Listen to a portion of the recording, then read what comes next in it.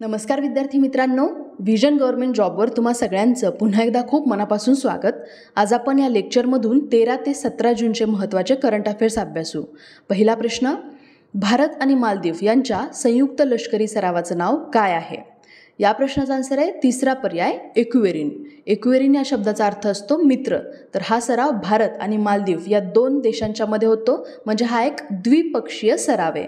या वर्षीची ही या सरावाची बारावी आवृत्ती चालू आहे.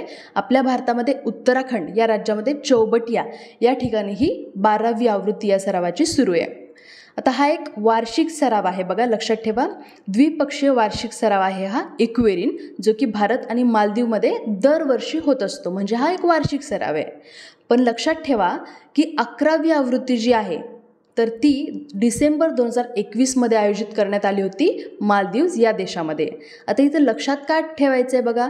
तर बघा बारावी आवृत्ती दोन हजार तेवीसमध्ये झाली आहे. म्हणजे आपल्याला असं वाटू शकतं ना की अकरावी आवृत्ती दोन हजार बावीसमध्ये झाली असेल? पण नाही. अकरावी आवृत्ती ही डिसेंबर दोन हजार एकवीसमध्ये झाली होती मालदीव्ज या देशामध्ये. ठीक आहे? या प्रश्नाच्या माध्यमातून आता आपण मालदीव या देशाबद्दल सुद्धा थोडी माहिती जाणून घेऊ. थोडा इतिहास भूगोल बघू आपण याचा. तर इथे बघा हा हे आपला भारत. भारताचाच एक भाग आहे हा लक्षद्वीप. आपल्याला माहिती आहे हा आपला एक केंद्रशासित प्रदेश आहे. या लक्षद्वीपच्या दक्षिणेकडे जर तुम्ही बघितलं तर हे जे छोटे छोटे डॉट्स दिसत आहेत तर हा आहे मालदीव्स. म्हणजे हा एक द्वीपसमूह आहे लक्षद्वीपसारखाच म्हणजेच हा एक छोट्या छोट्या बेटांचा बनलेला एक देश आहे मालदीवज आता ह्याचा इतिहास थोडक्यात सांगायचं तर बघा अठराशे सत्त्याऐंशीमध्ये हा देश एक ब्रिटिश संरक्षित राज्य बनलं होतं. आणि नंतर एकोणीसशे पासष्टमध्ये यू केपासून ह्याला स्वातंत्र्य मिळालं आणि पुढे जाऊन एकोणीसशे अडुसष्टला हा देश एक अध्यक्षीय प्रजासत्ताक म्हणून स्थापन झाला. म्हणजे प्रेसिडेन्शियल रिपब्लिक देश बनला हा एकोणीसशे अडुसष्टमध्ये ठीक आहे? कोणत्या राज्याने पद्म पुरस्कार विजेत्यांसाठी दहा हजार रुपये मासिक पेन्शन जाहीर केली आहे? या प्रश्नाचा आन्सर आहे तिसरा पर्याय हरियाणा. खूप महत्त्वाची अनाऊन्समेंट आहे ही जी की रिसेंटली हरियाणाचे मुख्यमंत्री मनोहरलाल यांनी केलेली आहे. ते एका दौऱ्यावरती होते कर्नालच्या दौऱ्यावरती.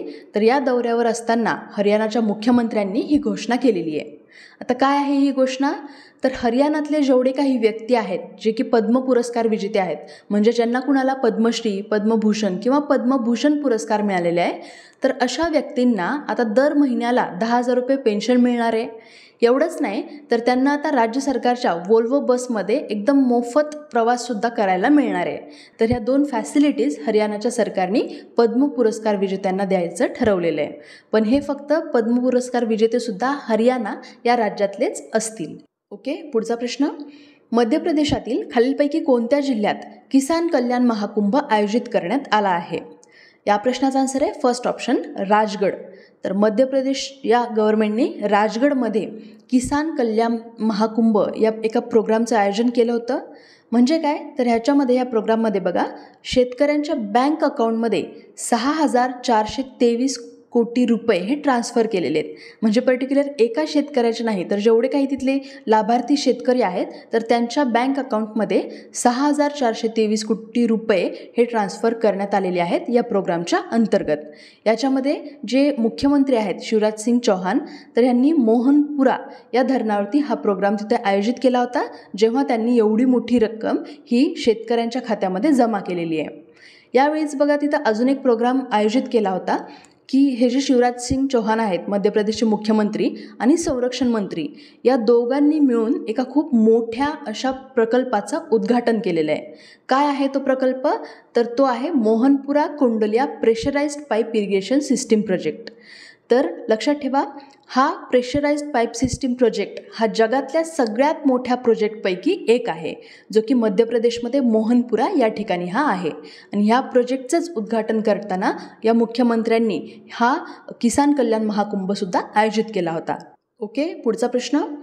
कोणते राज्य आपल्या तुरुंगाचे नाव बदलून सुधारगृह किंवा सुधारणागृह ठेवण्याची योजना आखत आहे? या प्रश्नाचा आन्सर आहे तिसरा पर्याय उत्तर प्रदेश. तर रिसेंटली बघा यू पीचे जे सी एम आहेत योगी आदित्यनाथ त्यांनी एक महत्त्वाची उच्चस्तरीय बैठक आयोजित केली होती. कशासाठी? तर कारागृहांच्या स्थितीचा आढावा घेण्यासाठी. तर या बैठकीमध्ये त्यांनी एक महत्त्वाचा निर्णय घेतला आहे की आता यू पीच्या तुरुंगांना तुरुंग किंवा कारागृह न म्हणता सुधारणागृह असं नाव आता ते देणार आहेत. आणि त्यांनी यासोबतच काही महत्त्वाच्या गाईडलाईन्ससुद्धा या मिटिंगच्या अंतर्गत जारी केलेल्या आहेत. सध्या जर आपण बघितलं ना तर बघा सध्या कारागृहामध्ये जे काही बंदिस्त असलेले कैदी असतात तर त्यांच्यासाठी आपल्या भारतात दोन महत्त्वाचे कायदे आहेत. पहिला आहे अठराशे चौऱ्याण्णवचा जेल कायदा आणि दुसरा आहे एकोणीसशेचा कैदी कायदा. तर हे दोन कायदे सध्या लागू आहेत. पण आपण जर ह्या इसवी सणांवरून बघितलं तर आपल्याला हे समजते की हे दोन्ही कायदे स्वातंत्र्यापूर्वी म्हणजे इंग्रजांनी आणलेले कायदे आहेत. म्हणजे ऑब्व्हियसली की त्याच्यामध्ये शिस्त आणि नियंत्रण ह्या दोन गोष्टींवरतीच त्यांनी फोकस केलेलं आहे. पण आत्ता आपल्याला गरज कशाची आहे? तर सुधारणा आणि पुनर्वसन या दोन गोष्टींवरती. म्हणजे काय? तर इंग्रजांनी आपल्याला म्हणजे भारतीयांना शिस्त लावण्यासाठी किंवा आपल्यावरती त्यांना राज्य करायचं होतं म्हणून एकदम स्ट्रिक्ट कडक कायदे बनवले होते. पण आत्ता जे कैदी आहेत त्यांना आपण सुधारण्यासाठी थोडेसे सॉफ्ट असे कायदेसुद्धा बनवले पाहिजे. किंवा या कैद्यांसाठीचे जे नियम आहेत ते थोडेसे आपण बदलले पाहिजे. त्यासाठी आता आपल्या भारत सरकारने मॉडेल प्रिझन ॲक्ट दोन हजार तेवीसचा तयार केलेला आहे. लक्षात ठेवा हा जो कायदा आहे हा दोन हजार तेवीसचा आहे. त्याच्यामुळं आयोग ह्याच्यावरती प्रश्न विचारू शकतं. मॉडेल प्रिझन ॲक्ट दोन हजार तेवीस हा रिसेंटली आपल्या भारत सरकारने तयार केलेला आहे. आता यू पीचं गव्हर्नमेंट काय करणार आहे बघा? तर हा जो मॉडेल प्रिझन ॲक्ट आहे तर ह्याला एक आदर्श कायदा म्हणून त्या यू पी या राज्याच्या गरजा लक्षात घेऊन एक राज्याचा नवीन कारागृह कायदा तयार करण्यात येणार आहे यू पीमध्ये ठीक आहे? आणि या अंतर्गतच आता एक महत्त्वाची सुधारणा ते करणार आहेत की जेल जे आहेत तर त्यांना आता सुधारणागृह म्हणून ओळखण्यात येईल. पुढचा प्रश्न कोणत्या भारतीय चित्रपटाला डब्ल्यू एच ओ पुरस्कार मिळाला? या प्रश्नाचा आन्सर आहे दुसरा पर्याय when climate change turns violent तर लक्षात ठेवा ही एक भारतीय मूवी आहे. ॲक्च्युली ही एक फक्त डॉक्युमेंटरी आहे चार पाच मिनटाची यूट्यूबवरती सुद्धा अवेलेबल आहे तुम्ही बघून घेऊ शकता.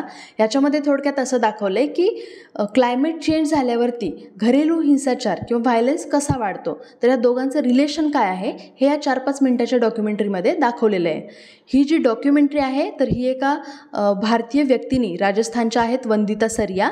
तर यांनी या डॉक्युमेंटरीचं डायरेक्शन म्हणजे दिग्दर्शन केलेलं आहे. लक्षात ठेवा या विनर्समध्ये या एकमेव भारतीय व्यक्ती होत्या वंदिता सरिया. आता तुम्हाला वाटत असेल की आपण आयफा अवॉर्ड्स किंवा जे ऑस्कर वगैरे अवॉर्ड्स हे तर आपण ऐकलेलं आहे पण डब्ल्यू एच ओचा पुरस्कार हे चित्रपटाला कसं काय? तर बघा डब्ल्यू एच ओ हे जे ऑर्गनायझेशन आहे जागतिक आरोग्य संघटना तर ही एका फिल्म फेस्टिवलचं आयोजन करत असते. ज्याचं नाव आहे health for all film festival. तर या फिल्म फेस्टिवलमध्ये ह्या when climate change turns violent या एका डॉक्युमेंटरी म्हणजे माहितीपटाला हेल्थ फॉर ऑल या कॅटेगरीमध्ये एक स्पेशल प्राईज मिळालेलं आहे. म्हणजे एक विशेष पारितोषिक मिळालेलं आहे. कशामध्ये? तर डब्ल्यू एच ओच्या हेल्थ फॉर ऑल फिल्म फेस्टिवलमध्ये यावर्षीचं हे हेल्थ फॉर ऑल हे चौथं फिल्म फेस्टिवल होतं डब्ल्यू एच ओचं जे की याच्या हेडक्वार्टरमध्ये म्हणजे जिनेवा या ठिकाणी आयोजित केलं गेलं होतं. ज्यामध्ये वंदिता सरिया यांनी डायरेक्शन केलेल्या एका डॉक्युमेंटरीला एक स्पेशल प्राईज मिळालेलं आहे. ओके पुढचा प्रश्न. कोणत्या रेल्वे स्टेशनने ईट राईट स्टेशन प्रमाणपत्र प्राप्त केलं आहे? या प्रश्नाचा आन्सर आहे दुसरा पर्याय गुवाहाटी रेल्वे स्टेशन खूप महत्त्वाचा प्रश्न आहे बघा हा.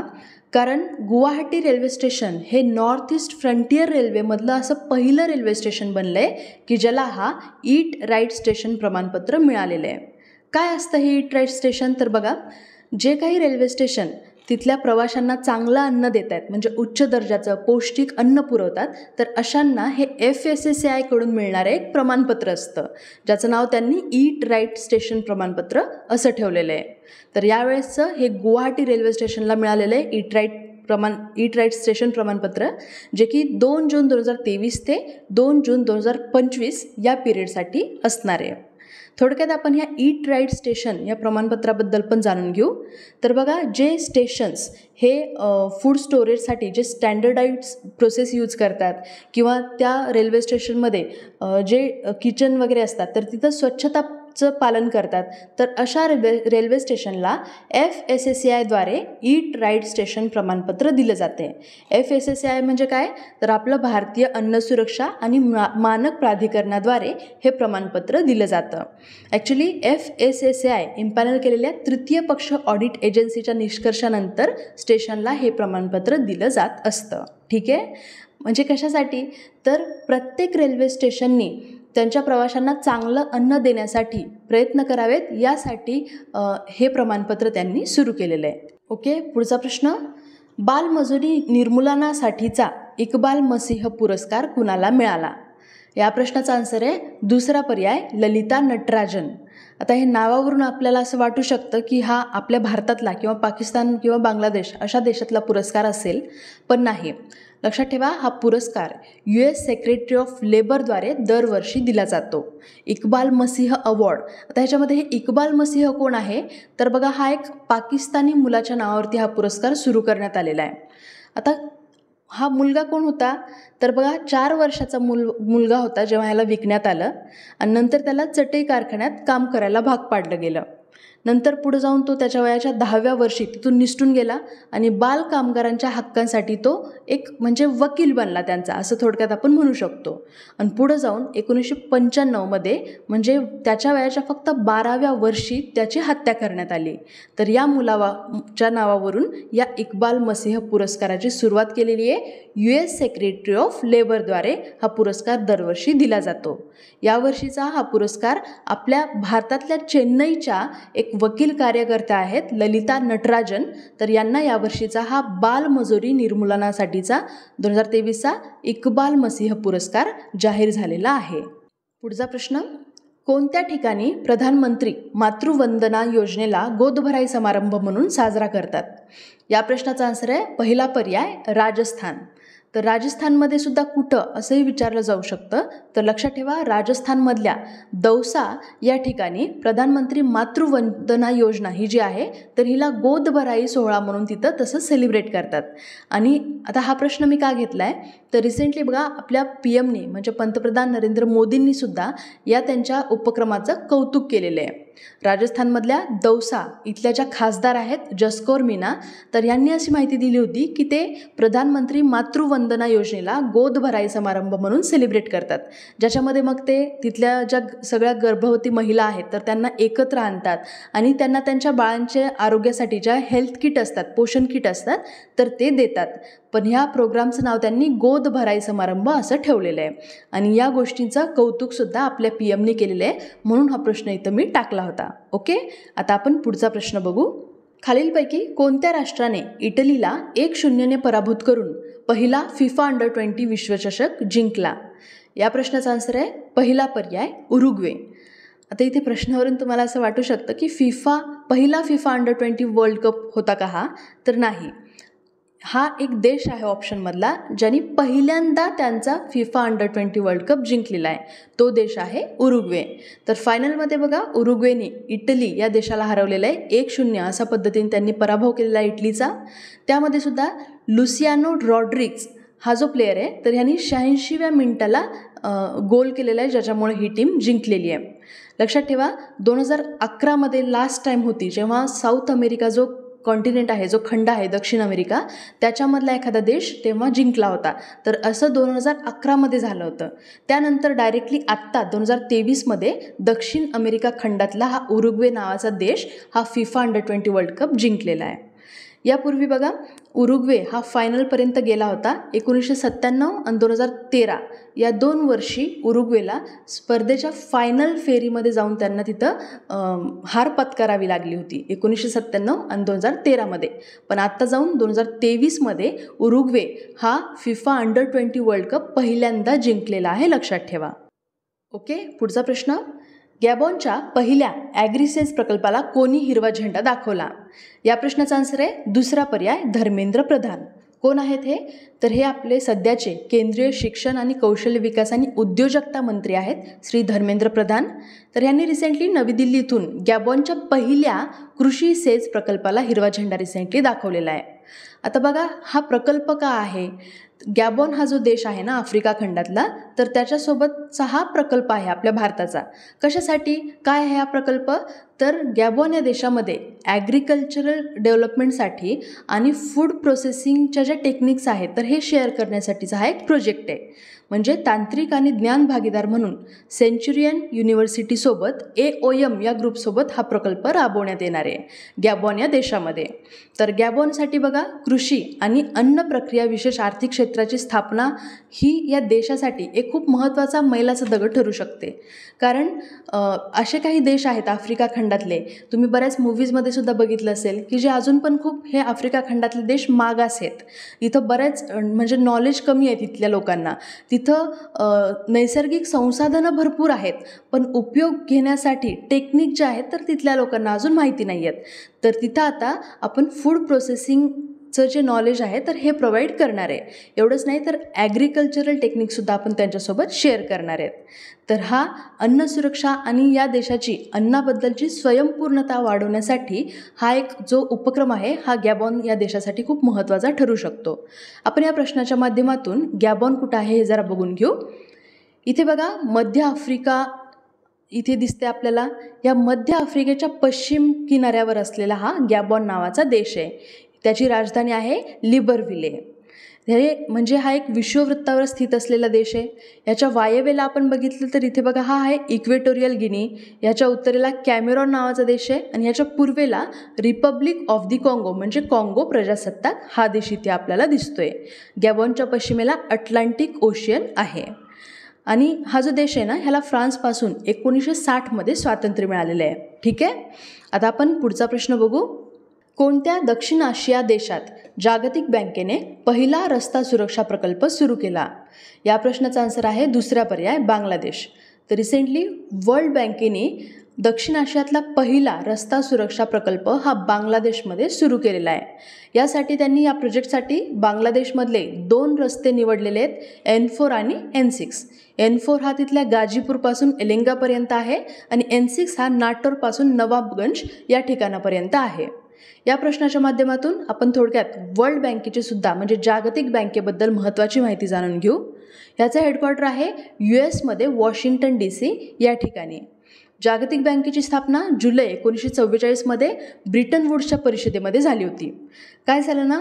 वर्ल्ड वॉर झाल्यानंतर युरोप युरोप आणि जे काही तिकडचे जे देश होते पश्चिमेकडचे तर तिथं बरीच काही हानी झाली होती नुकसान झालं होतं आर्थिक वगैरे सुद्धा.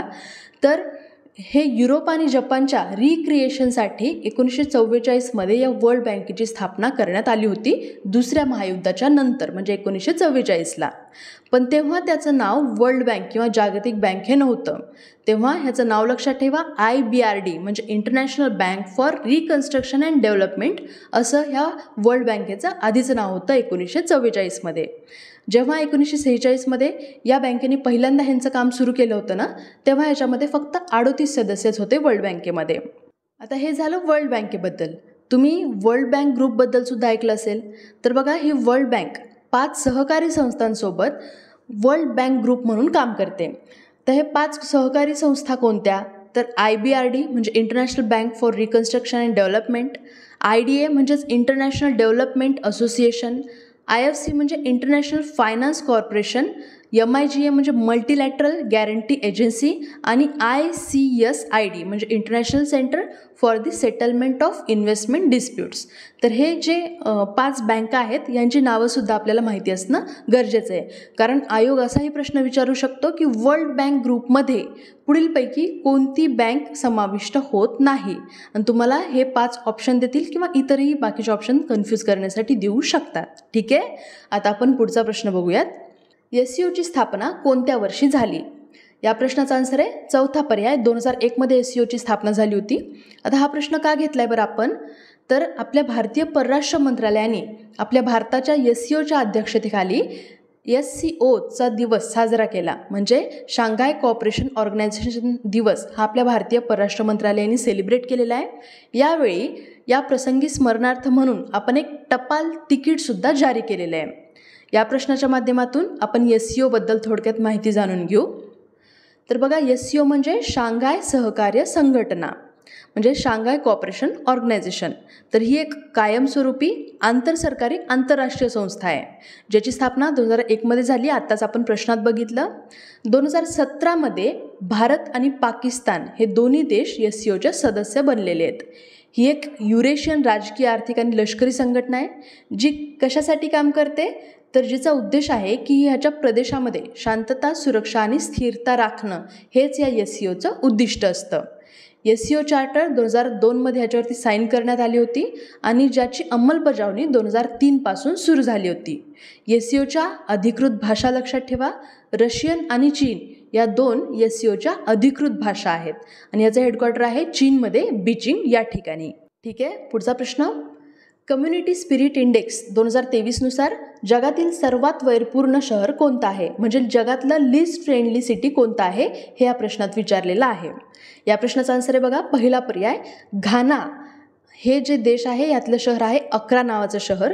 तर अकरा हे शहर जगातलं लिस्ट फ्रेंडली सिटी बनलेलं आहे कम्युनिटी स्पिरिट इंडेक्स दोन हजार तेवीसनुसार. काय आहे हा इंडेक्स? तर हा या इंडेक्समध्ये जगातल्या त्रेपन्न शहरांना तिथले रहिवासी किती फ्रेंडली म्हणजे किती मैत्रीपूर्ण आहेत यावरती आधारित या शहरांना रँकिंग दिले जाते.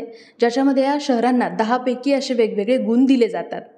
तर याच्यामध्ये सगळ्यात कमी गुण अकरा या शहराला मिळालेले आहेत. फक्त थ्री पॉईंट वन टू एवढेच गुण या शहराला मिळालेले आहेत. त्याच्यामुळे हे शहर जगातलं लिस्ट फ्रेंडली सिटी बनलेलं आहे.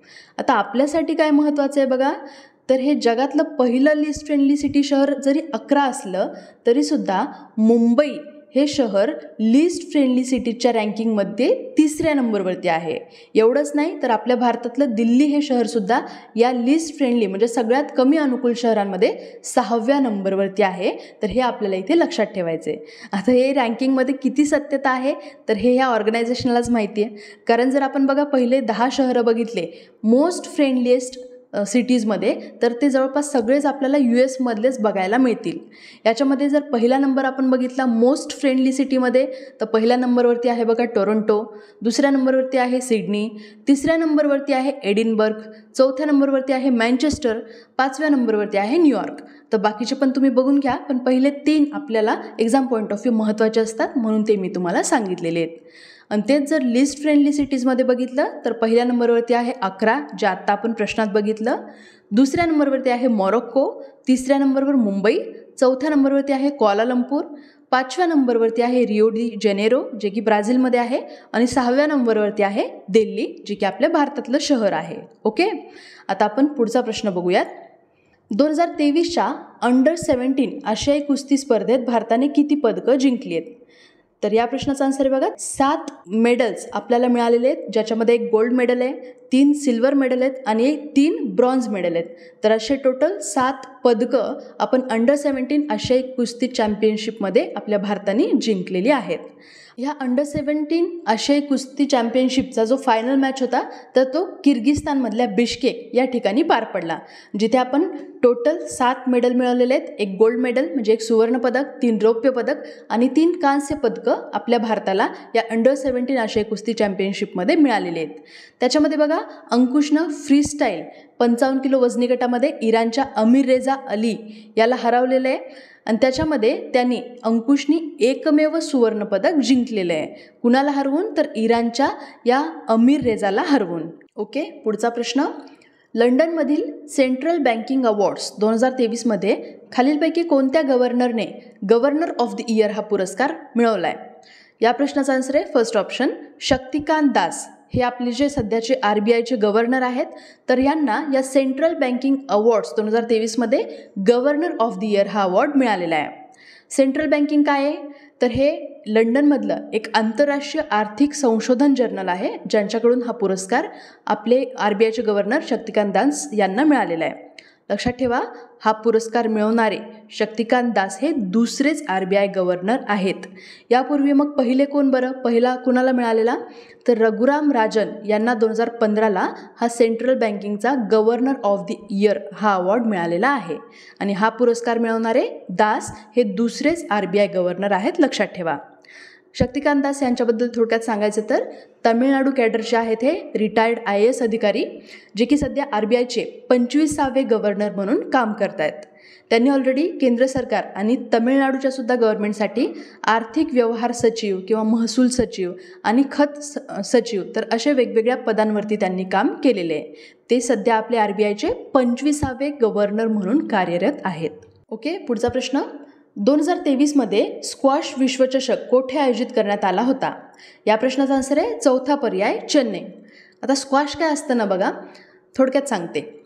एक रूम असते ज्याच्यामध्ये वॉलवरती एक प्लास्टिकचा बॉल असतो तर तो मारायचा असतो. त्या रूममध्ये एका भिंतीच्या दुसऱ्या साईडला दोन प्लेयर असतात. एक एका साईडला एक दुसऱ्या साईडला अशा पद्धतीने. तर दोघांनी पण वॉलवरतीच बॉल मारायचा असतो. आणि दुसऱ्यांनी तो परत रिटर्न वॉलवरती मारून म्हणजे दुसऱ्या प्लेअरकडे तो गेला पाहिजे. तर अशा पद्धतीचा हा स्क्वॉश गेम असतो. तर रिसेंटली हा स्क्वॉश वर्ल्ड कप आपल्या भारतामध्ये चेन्नई या ठिकाणी हा यावर्षी आयोजित करण्यात आलेला आहे. जी की ही यावर्षीची चौथी आवृत्ती आहे यावर्षीची.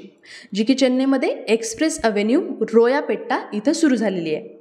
यावर्षीच्या ह्या वर्ल्ड कपमध्ये भारत चीन Japan Malaysia Australia South Africa आणि इजिप्त तर अशा एकूण आठ देशांचा समावेश आहे या वर्ल्ड कपमध्ये लक्षात ठेवा एकूण बारा वर्षानंतर चेन्नईमध्ये या स्क्वॉश वर्ल्ड कपचं आयोजन करण्यात आलेलं आहे.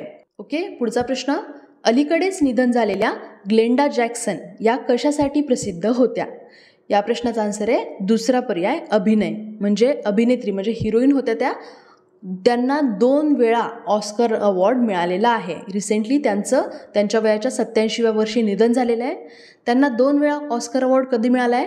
तर पहिल्यांदा एकोणीसशे एकोणसत्तर साली वुमन इन लव्ह या मूव्हीसाठी त्यांना सर्वोत्कृष्ट अभिनेत्रीसाठीचा त्यांचा पहिला ऑस्कर मिळाला आहे. त्यानंतर एकोणीसशे त्र्याहत्तरला अ टच ऑफ क्लास या मूव्हीसाठी त्यांना दुसरा ऑस्कर अवॉर्ड मिळालेला आहे. आणि फक्त ॲक्टिंगमध्येच त्यांचं करिअर नव्हतं. तर पुढे जाऊन बघा एकोणीसशे ब्याण्णवमध्ये त्या तिथल्या संसदेमध्ये निवडून आल्या आणि पुढे जाऊन त्या परिवहन मंत्रीसुद्धा झाल्या होत्या. या प्रश्नाच्या माध्यमातून थोडक्यात ऑस्कर अवॉर्डबद्दल माहिती जाणून घेऊ. तर ऑस्करची स्थापना एकोणीसशे अठ्ठावन्नमध्ये झाली होती. यू एसच्या अकॅडमी ऑफ मोशन पिक्चर्सद्वारे दरवर्षी हे अवॉर्ड दिले जातात. भारताबद्दल सांगायचं तर महबूब खानचा मदर इंडिया हा मूव्ही एकोणीसशे अठ्ठावन्नमध्ये सर्वोत्कृष्ट विदेशी चित्रपट कॅटेगरीमध्ये ऑस्करसाठी नॉमिनेशन मिळालेला पहिला भारतीय चित्रपट होता लक्षात ठेवा. फक्त नॉमिनेशन मिळालं होतं याला अवॉर्ड मिळालेला नव्हता. पण पहिला ऑस्कर मिळवणाऱ्या व्यक्ती आहेत भानू अथय्या ज्यांना गांधी या चित्रपटासाठी बेस्ट कॉस्ट्युम डिझायनरचा अवॉर्ड मिळाला होता. ऑस्कर अवॉर्ड जिंकणाऱ्या त्या पहिल्या भारतीय व्यक्ती आहेत भानू अथय्या. त्यानंतर सत्यजित रे हे पहिले भारतीय होते ज्यांना एकोणीसशे ब्याण्णवमध्ये चित्रपटसृष्टीतल्या जीवन गौरवासाठी ऑस्कर पुरस्काराने सन्मानित करण्यात आलं होतं. एकोणीसशे ब्याण्णवमध्ये सत्यजित रे यांना हा अवॉर्ड मिळालेला होता. ओके पुढचा प्रश्न. जागतिक रक्तदाता दिन दोन हजार तेवीसची थीम काय आहे? या प्रश्नाचा आन्सर आहे first option give blood give plasma share life share often ही यावर्षीची जागतिक रक्तदाता दिनाची थीम आहे. हा दिवस कधी असतो? तर चौदा जूनला दरवर्षी हा दिवस आपण सेलिब्रेट करत असतो.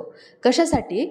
तर जगभरातल्या रक्तदानाचे किती गरज आहे जगामध्ये? तर ह्याच्याबद्दलची जागरूकता निर्माण करण्यासाठी दरवर्षी चौदा जूनला हा दिवस सेलिब्रेट केला जातो.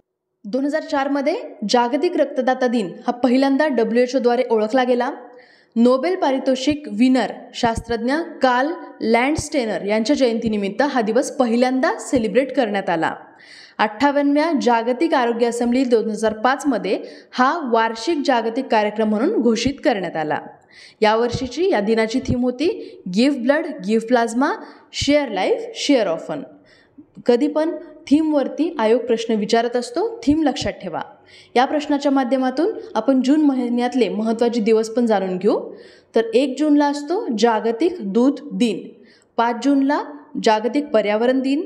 सहा जूनला आपले शिवाजी महाराजांचा राज्याभिषेक दिन असतो. सात जूनला जागतिक अन्न सुरक्षा दिवस. बारा जूनला बाल कामगार विरोधी दिन. चौदा जूनला जागतिक रक्तदाता दिन जे आत्ता आपण बघितलं. याच दिवशी कबीर यांची जयंतीसुद्धा असते संत कबीरांची. पंधरा जूनला जागतिक पवन दिन म्हणजे ग्लोबल विंड डे असतो. एकवीस जूनला इंटरनॅशनल योगा डे खूप महत्त्वाचा दिवस आहे हा आपल्यासाठी कारण हा दिवस आपल्या भारताच्या इनिशिएटिव्हने बनवलेला आहे. आंतरराष्ट्रीय योग दिवस एकवीस जूनला असतो आणि एकोणतीस जूनला राष्ट्रीय सांख्यिकी दिवस असतो. ठीक आहे? आता पुढचा प्रश्न बघू आपण. दरवर्षी डॅश डॅश रोजी जागतिक पवन दिवस साजरा केला जातो. जर तुम्ही आत्ताची माहिती जर व्यवस्थित ऐकली असेल तर तुम्हाला या प्रश्नाचा आन्सर आलंही असेल. या प्रश्नाचा आन्सर आहे पहिला पर्याय दरवर्षी पंधरा जूनला जागतिक पवन दिवस साजरा केला जातो. कशासाठी? तर जीवाश्म इंधनाला पर्याय म्हणून पवन ऊर्जेच्या वापराला प्रोत्साहन देण्यासाठी हा दिवस खूप महत्त्वाचा असतो. दरवर्षी पंधरा जूनला आपण जागतिक पवन दिवस हा सेलिब्रेट करत असतो. ग्लोबल विंड डे कोणी सुरू केला होता? तर ग्लोबल विंड डे हे विंड युरोप आणि ग्लोबल विंड एनर्जी काउन्सिल म्हणजे जी डब्ल्यू ई सी तर यांनी संयुक्तपणे हा आयोजित केलेला आहे. Global wind day. ओके? पुढचा आणि शेवटचा प्रश्न बघू आपण. कोणत्या शहरातील वाहतूक पोलिसांनी नो हॉकिंग डे सुरू केला? या प्रश्नाचा आन्सर आहे चौथा पर्याय मुंबई. तर आपल्या महाराष्ट्रातल्या मुंबई इथल्या ट्रॅफिक पोलिसांनी नो हॉकिंग डे आता सुरू केलेला आहे. त्यांनी चौदा जूनला हा दिवस ऑलरेडी पाळलेला सुद्धा आहे. नो हॉकिंग डे म्हणजे काय? तर विनाकारण हॉर्न वाजवायचा नाही. कशासाठी? तर शहरामध्ये खूप मोठ्या प्रमाणावरती ध्वनी प्रदूषण होते आहे त्याला आळा घालण्यासाठी जनजागृती मोहीम राबवण्यात येते आहे आणि अनावश्यक हॉर्निंगला आळा घालण्यासाठी एक विशेष मोहीम हे तिथल्या ट्रॅफिक पोलिसांनी राबवलेली आहे. आता हे कशाच्या अंतर्गत? तर तिथला एक मुंबईचा ट्रॅफिक रिलेटेड एक कायदा आहे की केंद्रीय मोटर वाहन कायदा एकोणीसशे एकोणनव्वदचा एकशे एकोणीस नंबरचा जो नियम आहे ज्याच्यामध्ये ध्वनी प्रदूषण नियमांचं आणि वाहनांच्या हॉर्नचे नियम हे मेन्शन केलेले आहेत. तर हे नियम पाळण्याचा सल्ला हे मुंबई वाहतूक पोलिसांनी तिथल्या वाहन चालकांना दिलेला आहे. कशासाठी? तर ध्वनी प्रदूषणाला आळा घालण्यासाठी. आणि जे लोक हे या नियमांचं पालन करण्यात अपयशी ठरतील तर त्यांच्यावरती कारवाईसुद्धा करण्यात येईल असं तिथल्या ट्रॅफिक विभागाने सांगितलेलं आहे. ओके? तर हा नो हॉकिंग डे महाराष्ट्रामध्ये मुंबई या शहरामध्ये पाळण्यात येतो आहे चौदा जूनला हा पाळलेला आहे. ठीक आहे? तर अशा पद्धतीने आज आपण तेरा ते सतरा जूनचे महत्त्वाचे करंट अफेअर्स अभ्यासलेले आहेत. तुम्हाला हे लेक्चर्स कसे वाटत आहेत कमेंट करून नक्की सांगा. भेटूयात आपण अशाच पुढच्या लेक्चर्ससोबत जय हिंद जय महाराष्ट्र. धन्यवाद.